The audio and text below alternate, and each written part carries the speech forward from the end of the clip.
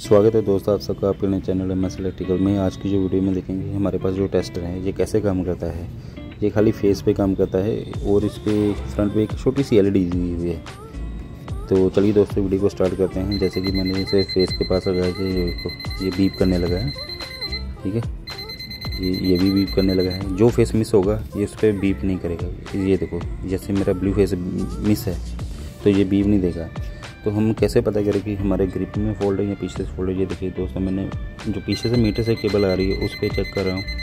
उस पर red face भी बोल रहा है येलो भी बोल रहा है और ब्लू नहीं बोल रहा है। तो इससे हमें पता चलता है कि हमारी जो प्रॉब्लम है, वो पीछे से मीटर से है। यानी कि हमारी इंटरनल कोई फॉल्ट नहीं है, जो भी फॉल्ट है, वो इलेक्ट्रिसिटी वालों का है।